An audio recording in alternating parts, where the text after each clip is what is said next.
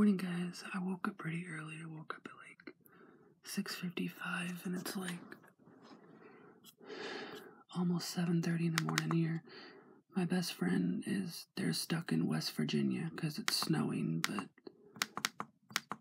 um, the snow is supposed to change into rain so hopefully they'll be okay.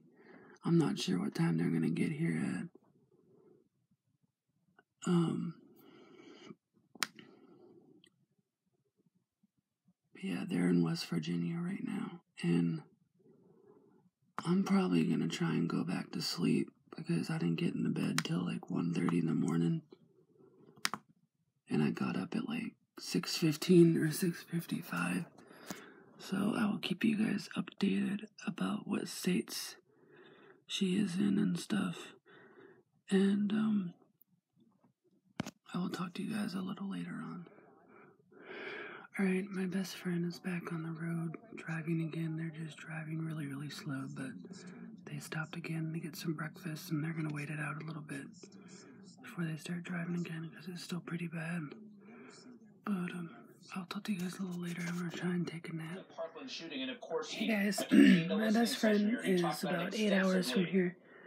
They are in Ohio right now, and then they're going to be in Indiana, Illinois, Chicago, and then Wisconsin. So she should be here by 8 p.m. tonight, and I'll talk to you guys when I go over to my grandma's house to pack up some stuff for the hotel.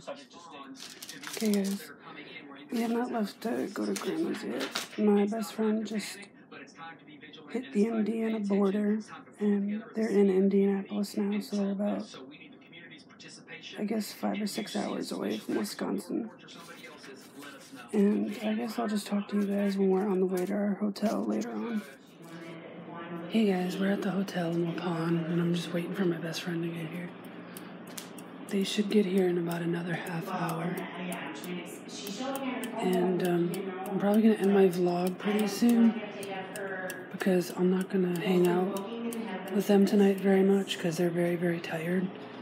So I'm going to end my vlog for tonight. Thank you guys so much for watching, and I'll see you in my next one. Bye.